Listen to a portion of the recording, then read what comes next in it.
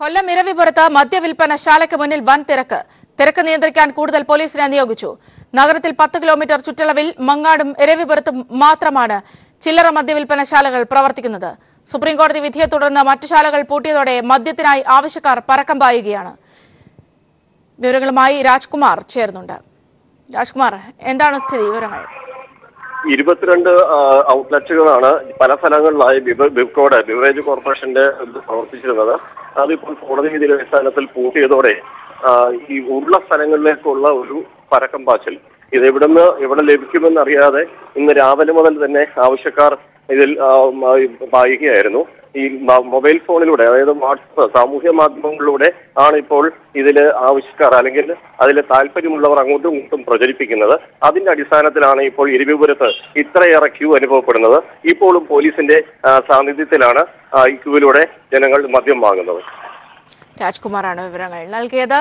Supreme കോടതി വിധിയുടെ പശ്ചാത്തലത്തിൽ ആലപ്പുഴയിലെ കള്ളുഷാപ്പുകൾ അടക്കം നൂറ്റി അറുപത്തിയെട്ട് മദ്യവിൽപ്പന ശാലകൾ പൂട്ടിയതോടെ നിലവിൽ പ്രവർത്തിക്കുന്ന ബിവറേജസ് ഔട്ട്ലെറ്റുകൾ പോലീസ് നിയന്ത്രണത്തിലാണ്. ക്രമാതീതമായ തിരക്കാണ് ഇവിടെയും അനുഭവപ്പെടുന്നത്. കഞ്ഞിക്കുഴി മുഹമ്മ പഞ്ചായത്തിന്റെ അതിർത്തിയിൽ പ്രദേശ് കോർപ്പറേഷന് മുന്നിലാണ് രാവിലെ മുതൽ തന്നെ കിലോമീറ്റർ നീണ്ട ക്യൂ കാണപ്പെട്ടത്. ജില്ലയിലെ നൂറ്റി അറുപത്തിയെട്ട് മദ്യഷാപ്പുകൾ കോടതി ഉത്തരവിനെ തുടർന്ന് അടച്ചുപൂട്ടിയതോടെയാണ് അവശേഷിക്കുന്ന വിവറേഴ്സിന് മുന്നിൽ അസാധാരണമായ നീണ്ട നിര പ്രത്യക്ഷപ്പെട്ടത്. വാങ്ങിക്കാതിരിക്കുന്നില്ല കാരണം ഇപ്പോൾ ജനങ്ങൾക്ക് ഈ സാധനം കൂടിയേ തീരും അതാണ് ഇതിന്റെ ഒരു ഹൈലൈറ്റ് കാശുള്ളവർ ഇപ്പോഴും വീട്ടിൽ വെച്ച് മേടിച്ചിട്ടുണ്ട് തീർച്ചയായിട്ടും അടിക്കുന്നു ഞങ്ങളെപ്പോഴും സാധാരണക്കാരാണെങ്കിൽ എത്ര കിലോമീറ്റർ ഒരു ദിവസത്തെ പണി എടുത്ത് ഷാപ്പ് അടച്ച് ഇപ്പോൾ ഓരോരുത്തർ കുഴഞ്ഞു വീണ് ഇണ്ടിരിക്കുന്നു ഇവിടെ. കുഴഞ്ഞു വീണ ഒരാളിപ്പോൾ ഞങ്ങൾ കണ്ട കുഴഞ്ഞു വീണ് കിടക്കുന്നത്. അപ്പോൾ ഇതിങ്ങനെ തുടങ്ങിയത് എന്ത് ചെയ്യും? ഇപ്പോൾ കഞ്ചാവും മയക്കുവത്തിന്റെ ഒരു ഏരിയ ആയിക്കൊണ്ടിരിക്കുന്നത് ഇത്. മണിക്കൂറുകളോളം ക്യൂവിൽ നിന്ന പലരും ഇടയ്ക്ക് കുഴഞ്ഞു വീണു. മാത്രമല്ല റോഡ് ഗതാഗതം പൂർണമായും തടസ്സപ്പെട്ടതോടെ ഇതുവഴി വന്ന ആംബുലൻസുകൾക്ക് പോലും തിരക്ക് തടസ്സമായി വന്നു.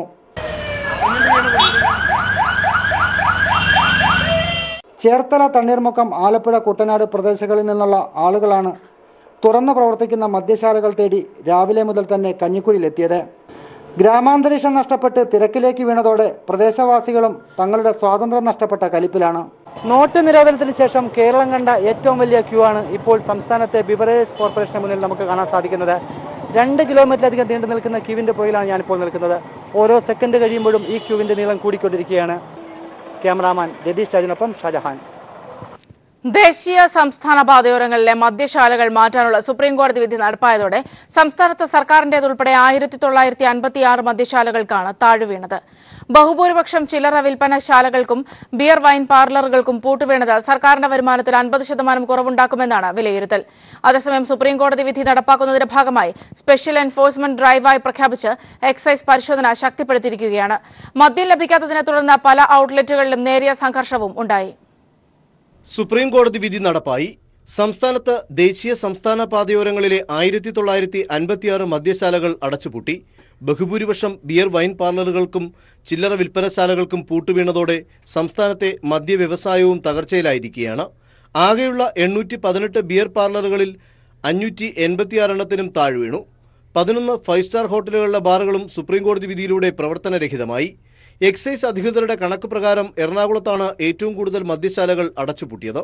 ഇരുന്നൂറ്റി തൊണ്ണൂറ്റിയഞ്ചെണ്ണം തിരുവനന്തപുരം ജില്ലയിൽ എൺപത്തിനാലും കണ്ണൂരിൽ നൂറ്റിയഞ്ചും പാലക്കാട് ഇരുന്നൂറ്റിനാലും വയനാട്ടിൽ ഇരുപത്തിയഞ്ചും തൃശൂരിൽ ഇരുന്നൂറ്റി അൻപത്തിയൊന്നും മദ്യവിൽപ്പനശാലകൾ പൂട്ടിക്കഴിഞ്ഞു. മദ്യശാലകൾ എത്രയൊക്കെ പൂട്ടിയാലും ആവശ്യക്കാർ അത് തേടി ഉപയോഗപ്പെടുത്തുമെന്നതും വസ്തുതയാണ്. ഈ രാവിലെയൊക്കെ ഇപ്പോൾ സാറ് നിത്യമായിട്ടും കഴിച്ചുകൊണ്ടിരിക്കുന്നവർക്ക് അത് കിട്ടിയില്ലെങ്കിൽ അവർക്ക് അതൊരു വലിയൊരു ബുദ്ധിമുട്ടാണ്. അപ്പോൾ ഈ സാധനം എവിടെ ഉണ്ടോ അത് അന്വേഷിച്ച് ഇവരങ്ങ് പരച്ചും പാച്ചിലാണ് ആ. കുറേ പേര് എന്തെങ്കിലും കിട്ടുന്നതൊക്കെ കുടിച്ച് നശിക്കും. കുറേ പേര് ഇതിൽ മാറും. പലരും മദ്യശാലകളുടെ ഔട്ട്ലെറ്റുകൾ എവിടെയാണ് തുറന്നു പ്രവർത്തിക്കുന്നതെന്ന് ചോദിച്ച് ചോദിച്ച നെട്ടോട്ടത്തിലായി. മറ്റു ചിലരാകട്ടെ പ്രതീക്ഷയോടെ മദ്യം വാങ്ങാമെന്ന് കരുതി വിൽപ്പനശാലകളിലെത്തിയെങ്കിലും ഔട്ട്ലെറ്റുകൾ അടഞ്ഞുകിടന്നത് അത്തരക്കാരെ നിരാശരാക്കി. തുറന്നു പ്രവർത്തിച്ച മദ്യവിൽപ്പനശാലകളിൽ വലിയ തിരക്കായിരുന്നു. പ്രശ്നങ്ങൾ ഒഴിവാക്കാനായി പോലീസിനും രംഗത്തെത്തേണ്ടി വന്നു. അതേസമയം ഈ മാസം ഇരുപത് വരെയുള്ള കാലയളവ് സ്പെഷ്യൽ എൻഫോഴ്സ്മെന്റ് ഡ്രൈവായി പ്രഖ്യാപിച്ച് എക്സൈസ് പരിശോധന ശക്തമാക്കിയിട്ടുണ്ട്. വ്യാജമദ്യ വിൽപ്പന തടയാൻ പോലീസും ഫലപ്രദമായ നടപടികളുമായി രംഗത്തുണ്ട്. News bureau Thiruvananthapuram. ബീഫ് രാഷ്ട്രീയം വിളമ്പി മലപ്പുറത്ത് ബി ജെ പി. ജയിച്ചാൽ അറവശാലകളിൽ നല്ല ബീഫ് ലഭ്യമാക്കുമെന്ന് എൻ ഡി എ സ്ഥാനാർത്ഥി ശ്രീപ്രകാശ്. വിവിധ സംസ്ഥാനങ്ങളിൽ അറവശാലകൾ നിരോധിച്ചത് കോൺഗ്രസ് സർക്കാരുകളാണെന്നും ശ്രീപ്രകാശ് പറഞ്ഞു. മലപ്പുറത്തെ എഴുപത് ശതമാനം വരുന്ന മുസ്ലിം വോട്ടുകൾ ലക്ഷ്യമിട്ടാണ് ബീഫ് രാഷ്ട്രീയം എൻ ഡി എ ചർച്ചയാക്കുന്നത്. നല്ല ഭക്ഷണം എല്ലാവർക്കും ലഭ്യമാക്കുകയാണ് എൻ ഡി എ ലക്ഷ്യമെന്ന് പറഞ്ഞാണ് മലപ്പുറത്തെ സ്ഥാനാർത്ഥി ശ്രീപ്രകാശ് ബീഫ് വിഷയത്തിലുള്ള നിലപാട് വ്യക്തമാക്കിയത്. മലപ്പുറത്തെ അറവുശാലകളിൽ നല്ല ബീഫ് ലഭ്യമാക്കും. രാജ്യത്ത് അറവുശാലകൾ നിയമം മൂലം നിരോധിച്ചത് ബി ജെ പി മാത്രമല്ല കോൺഗ്രസ് സർക്കാരുകൾ കൂടിയാണെന്നും ശ്രീപ്രകാശ് പറഞ്ഞു. കോൺഗ്രസ് പാർട്ടിയും ബി ജെ പിയും അധികാരിക്കുന്ന സ്ഥലത്ത് അത് നിർത്തലാക്കിയിട്ടുണ്ട് നിയമം പരിഷ്കരിച്ചിട്ടുണ്ട് അതൊന്നും സംശയമില്ല. പക്ഷേ ബീഫ് കഴിക്കുന്നതിനോ അല്ലെങ്കിൽ മറ്റ് അറവ് ശാലകൾക്കോ യാതൊരു നിരോധനമില്ല ബീഫ് സുഗമമായി കഴിക്കാൻ പറ്റും. ബീഫ് വില കുറഞ്ഞ രീതിയിൽ കഴി കൊടുക്കാനുള്ള അവസരം എന്താണ് എന്ന് പരിശോധിക്കും. മുത്തലാഖ് നിരോധിക്കാനുള്ള കേന്ദ്ര സർക്കാർ നീക്കങ്ങളെ പിന്തുണയ്ക്കുമെന്നും ശ്രീപ്രകാശ് മലപ്പുറം പ്രസ് ക്ലബ്ബ് സംഘടിപ്പിച്ച മുഖാമുഖത്തിൽ വ്യക്തമാക്കി. മുസ്ലിം സമുദായത്തിലെ സ്ത്രീകൾ മാത്രം വിവേചനത്തിനിരയാകുന്നത് ശരിയല്ലെന്നും ശ്രീപ്രകാശ് പറഞ്ഞു. News bureau Malappuram. വോട്ടിംഗ് മെഷീനിൽ ക്രമക്കേട് കണ്ടെത്തിയതിനാൽ മധ്യപ്രദേശിലെ വോട്ടിംഗ് മെഷീനുകളിൽ പുനഃപരിശോധന നടത്തണമെന്ന് പ്രതിപക്ഷം ആവശ്യപ്പെട്ടു. ക്രമക്കേട് കണ്ടെത്തിയ സാഹചര്യത്തിൽ പരിശോധന നടത്താൻ മുതിർന്ന ഉദ്യോഗസ്ഥരെ അയക്കുമെന്ന് തെരഞ്ഞെടുപ്പ് കമ്മീഷൻ അറിയിച്ചു. ഈ ഉദ്യോഗസ്ഥരുടെ സാന്നിധ്യത്തിലാണ് ഉപതെരഞ്ഞെടുപ്പ് നടക്കുക. വോട്ടിംഗ് മെഷീനിൽ അപാകത കണ്ടെത്തിയതിനെ തുടർന്ന് കളക്ടറെയും പോലീസ് മേധാവിയെയും തെരഞ്ഞെടുപ്പ് കമ്മീഷൻ മാറ്റിയിരുന്നു.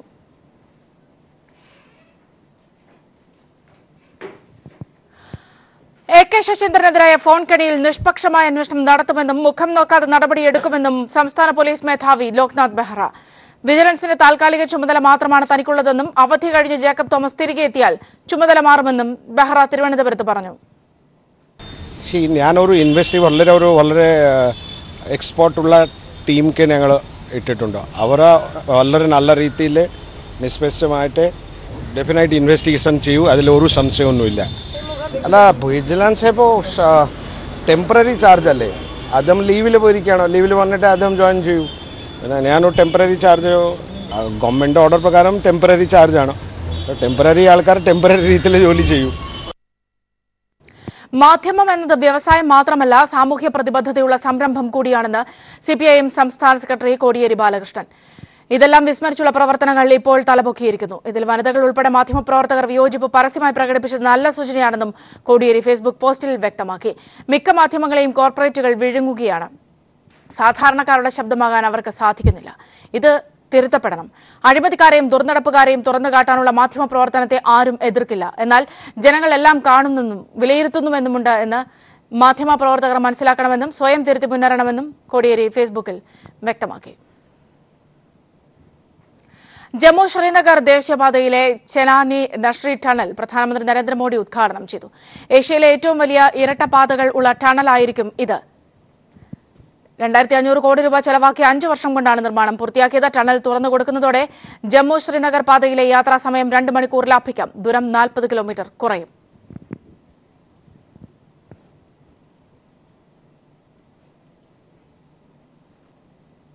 ഫോൺ കെണി വിവാദത്തിൽ അന്വേഷണ സംഘം ചാനലിൽ തെളിവെടുപ്പ് നടത്തി. ജീവനക്കാരിൽ നിന്നും മൊഴിയെടുത്തു. പ്രതിപട്ടികയിൽ ഉൾപ്പെട്ട പെൺകുട്ടിക്ക് നോട്ടീസ് അയച്ചു. കണിയാപുരം സ്വദേശിനിയായ പെൺകുട്ടിക്കാണ് നോട്ടീസ് അയച്ചത്. വിവരങ്ങളുമായി ദിനകർ ചേരുന്നുണ്ട്. ദിനകർ വിശദാംശങ്ങൾ. സൗമ്യ ഫോൺ കെണി വിവാദത്തിൽ പോലീസ് പ്രത്യേക സംഘം അന്വേഷണം ആരംഭിച്ചിരിക്കുന്നു. കഴിഞ്ഞ ദിവസം പരാതിക്കാരുടെ മൊഴി എടുത്തിരുന്നു. ഇന്ന് ഈ വാർത്ത പുറത്തുവിട്ട ചാനലിന്റെ ആസ്ഥാനത്തും ജീവനക്കാരിൽ നിന്നുമാണ് മൊഴി എടുത്തത്.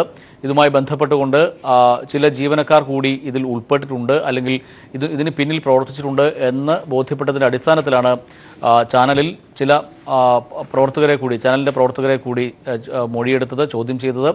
ഇവരിൽ നിന്നും നിർണായകമായിട്ടുള്ള ചില വിവരങ്ങൾ ലഭിച്ചിട്ടുണ്ട് എന്നാണ് നമുക്ക് ഇപ്പോൾ ലഭിക്കുന്ന സൂചന. ഉച്ചയോടുകൂടിയായിരുന്നു ചാനലിന്റെ ഓഫീസിൽ തിരുവനന്തപുരത്തെ ഓഫീസിൽ സംഘം പരിശോധന നടത്തിയത്. കഴിഞ്ഞ ദിവസം ഒൻ അതായത് എഫ് ഐ ആറിൽ പ്രതിപട്ടികയിൽ ഉൾപ്പെടുത്തിയിട്ടുള്ള ഒൻപത് പേർക്കും നോട്ടീസ് അയക്കാൻ തീരുമാനിച്ചിരുന്നു നോട്ടീസ് അയച്ചിരുന്നു. ഇന്ന് ഹാജരാകണം എന്ന് ചൂണ്ടിക്കാട്ടിയാണ് നോട്ടീസ് അയച്ചത്. എന്നാൽ ഇന്ന് ആരും തന്നെ ഹാജരായിട്ടില്ല. ഒരുപക്ഷെ നാളെ മുൻകൂർ ജാമ്യാപേക്ഷയ്ക്കുള്ള ഒരു നീക്കം ഇതിൽ പ്രതിപട്ടികയിൽ ഉൾപ്പെട്ടവർ നടത്തി നടത്താൻ ഇടയുണ്ട് എന്നാണ് നമുക്ക് ലഭിക്കുന്ന വിവരം.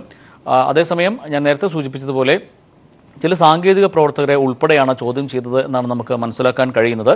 അതോടൊപ്പം ഇതിന് പിന്നിൽ പ്രവർത്തിച്ചു എന്ന് കരുതുന്ന പെൺകുട്ടിക്കും കണിയാപുരം സ്വദേശിയായിട്ടുള്ള പെൺകുട്ടിക്കും നോട്ടീസ് അയച്ചിട്ടുണ്ട് ഹാജരാകണം എന്ന് ചൂണ്ടിക്കാട്ടി അന്വേഷണ സംഘം നോട്ടീസ് അയച്ചിട്ടുണ്ട്. ഈ കേസ് വളരെ ഗൗരവമായി തന്നെയാണ് സർക്കാർ കൈകാര്യം ചെയ്യുന്നത് എന്നതിന്റെ വ്യക്തമായ സൂചനകളാണ് നമുക്ക് ഇപ്പോൾ ലഭിക്കുന്നത്. കാരണം സർക്കാരിനെതിരെ ഇത്തരത്തിൽ അല്ലെങ്കിൽ ഒരു മന്ത്രിക്കെതിരെ ഇത്തരത്തിൽ ഗൂഢാലോചന നടത്തിക്കൊണ്ടുള്ള ഒരു നീക്കം മന്ത്രിയെ പുറത്താക്കാനുള്ള നീക്കം നടത്തുന്നു. അത് സർക്കാരിനെതിരെ തന്നെയുള്ള ഒരു വെല്ലുവിളിയായിട്ട് തന്നെയാണ് സർക്കാർ ഇതിനെ കാണുന്നത്. അതുകൊണ്ട് ഇക്കാര്യത്തിൽ യാതൊരു വിട്ടുവീഴ്ചയും വേണ്ടതില്ല എന്നാണ് സർക്കാരിന്റെ നിലപാട്. ഇക്കാര്യം ഡി ജി പി രാവിലെ വ്യക്തമാക്കുകയും ചെയ്തു. കൃത്യമായ ശക്തമായ അന്വേഷണം നടത്തും. കുറ്റക്കാർക്കെതിരെ ശക്തമായ നടപടി സ്വീകരിക്കും. അന്വേഷണത്തിൽ യാതൊരു വിട്ടുവീഴ്ചയും ഉണ്ടാവുകയില്ല എന്നും അദ്ദേഹം ചൂണ്ടിക്കാട്ടുകയുണ്ടായി. രാവിലെ മാധ്യമപ്രവർത്തകരോട് സംസാരിക്കവേ സൗമ്യ. ദിനകറാണ് വിവരങ്ങൾ നൽകിയത്. ഫോൺ കണിയിൽ അന്വേഷണ സംഘം ചാനലിൽ തെളിവെടുപ്പ് നടത്തി. ചീഫ് സെക്രട്ടറിയായി നളിനി നെറ്റോ ചുമതലയേറ്റു രാവിലെ പതിനൊന്ന് മണിയോടെ സെക്രട്ടേറിയറ്റിലെത്തിയാണ് ചുമതല ഏറ്റെടുത്തത്.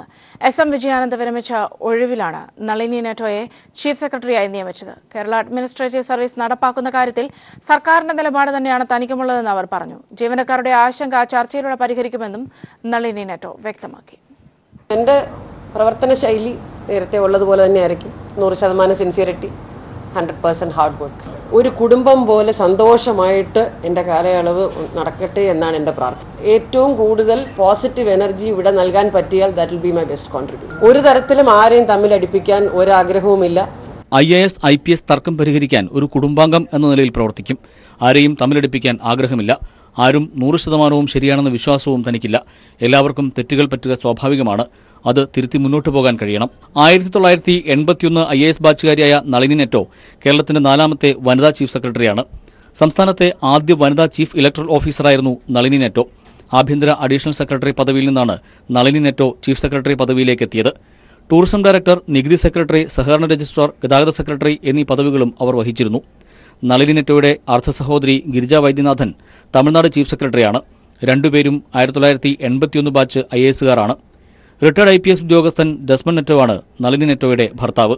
നളിനി നെറ്റോ ഈ വർഷം ഓഗസ്റ്റ് വരെ ചീഫ് സെക്രട്ടറി പദവിയിൽ തുടരും. News bureau Thiruvananthapuram. ദുബായിൽ കെട്ടിട സമുച്ചയത്തിൽ വൻ തീപിടുത്തം. അപകടത്തിൽ ആളപായം റിപ്പോർട്ട് ചെയ്തിട്ടില്ല.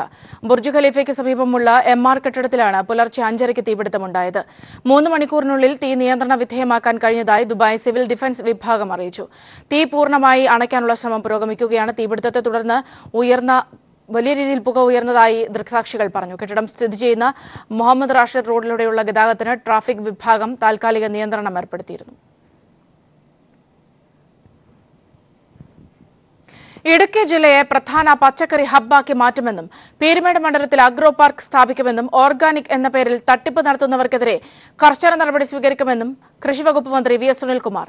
ജില്ലാതല പച്ചക്കറി കർഷക അവാർഡ് വിതരണവും ജൈവ കാർഷിക സംഗമവും വണ്ടിപ്പെരിയാറിൽ ഉദ്ഘാടനം ചെയ്യുകയായിരുന്നു അദ്ദേഹം. ജൈവ സംസ്കാരത്തിലേക്ക് കേരള ജനതയെ മടക്കിക്കൊണ്ടുവരാനുള്ള പദ്ധതിക്കാണ് കൃഷി വകുപ്പിന്റെ ശ്രമമെന്ന് കൃഷി വകുപ്പ് മന്ത്രി വി എസ് സുനിൽകുമാർ പറഞ്ഞു. ഇടുക്കി വണ്ടിപ്പെരിയാറിൽ ജില്ലാതല പച്ചക്കറി കർഷക അവാർഡ് വിതരണവും ജൈവ കാർഷിക സംഗമവും ഉദ്ഘാടനം ചെയ്ത് സംസാരിക്കുകയായിരുന്നു മന്ത്രി. ബഡ്ജറ്റിൽ ഇടുക്കിക്ക് പ്രഖ്യാപിച്ച അഗ്രി പാർക്ക് പീരുമേട്ടിൽ സ്ഥാപിക്കുമെന്നും ചടങ്ങിൽ അദ്ദേഹം ഉറപ്പു നൽകി. മണ്ണും ജലവും ശുദ്ധീകരിച്ച് വിഷരഹിതമായ കാർഷിക ഉൽപ്പന്നങ്ങൾ വിപണിയിൽ എത്തിക്കും. ഓർഗാനിക് എന്ന പേരിൽ തട്ടിപ്പ് നടത്തുന്നവർക്കെതിരെ കർശന നടപടി സർക്കാർ സ്വീകരിക്കും. ചടങ്ങിൽ കർഷകർക്കുള്ള അവാർഡ് വിതരണവും മന്ത്രി നിർവഹിച്ചു. E S Bijimol M L A അധ്യക്ഷത വഹിച്ചു. ജനപ്രതിനിധികളും കർഷകരുമടക്കം ആയിരക്കണക്കിന് ആളുകൾ ചടങ്ങിൽ പങ്കെടുത്തു. News bureau Idukki. ദാഹിച്ചു കേരളം.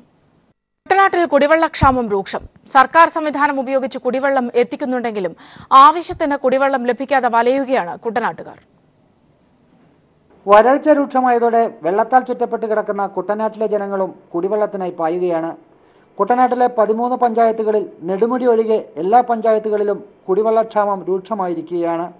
കായലുകളിൽ ഉപ്പുവെള്ളം കൂടി കയറിയതോടെ ജനങ്ങൾ ഏറെ ദുരിതത്തിലാണ്. കൃഷിക്ക് ആവശ്യത്തിനുള്ള ശുദ്ധജലം പോലും ഇല്ലാത്തതിനെ തുടർന്ന് കാർഷിക മേഖലയിൽ മാത്രം അറുപത് കോടിയിലധികം രൂപയുടെ നാശനഷ്ടമാണ് കൃഷി വകുപ്പ് വിലയിരുത്തിയിരിക്കുന്നത്. ഇതിൽ അൻപത് കോടിയിലധികം രൂപയുടെ നഷ്ടം സംഭവിച്ചിരിക്കുന്നതും നെൽകർഷകർക്കാണ്. ആവശ്യത്തിന് ശുദ്ധജലം ലഭ്യമാകാതായതോടെ സ്വന്തം കൃഷി പോലും ഉപേക്ഷിക്കേണ്ടി വന്ന കർഷകർക്ക് ഇപ്പോൾ കുടിവെള്ളം പോലും ലഭിക്കുന്നില്ലെന്നുള്ളതാണ് പരാതി. വേനൽക്കാലം വരുമ്പോൾ ഉപ്പുവെള്ളം കൂടെ കയറി കഴിഞ്ഞാൽ പിന്നെ ഒട്ടും പറയണ്ട.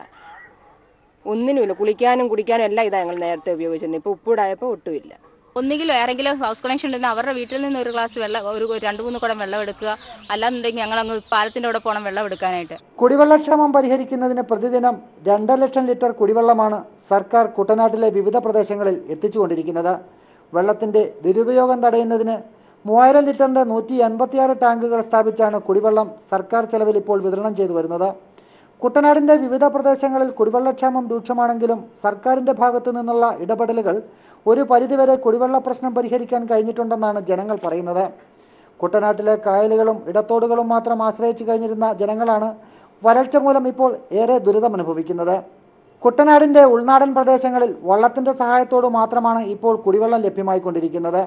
പുഴയും കടലും ചേർന്ന ആലപ്പുഴ ജില്ലയിൽ കുടിവെള്ളക്ഷാമം ഇത്രയധികം രൂക്ഷമാകുന്നത് വർഷങ്ങൾക്ക് ശേഷം ഇതാദ്യമായാണ്. Shajahan news bureau Alappuzha. അമേരിക്കയിലെ മലയാള മാധ്യമ പ്രവർത്തകരുടെ കൂട്ടായ്മയായ India press club of north അമേരിക്കയുടെ ഏഴാമത് നാഷണൽ കോൺഫറൻസ് ഓഗസ്റ്റ് ഇരുപത്തിനാല് ഇരുപത്തിയഞ്ച് ഇരുപത്തിയാറ് തീയതികളിൽ നടക്കും. ജോസ് കണിയാലിന്റെ നേതൃത്വത്തിൽ ചിക്കാഗോയിലെ ഹോളിഡേ ഇൻ ഹോട്ടലിലാണ് പരിപാടി. കേരളത്തിൽ നിന്നുള്ള മാധ്യമ രാഷ്ട്രീയ പ്രമുഖരും സാഹിത്യ പ്രവർത്തകരും അതിഥികളാകുന്ന കോൺഫറൻസിൽ പ്രസ് ക്ലബിന്റെ ഏഴ് ചാപ്റ്ററിൽ നിന്നുള്ള പ്രതിനിധികളും പങ്കെടുക്കും.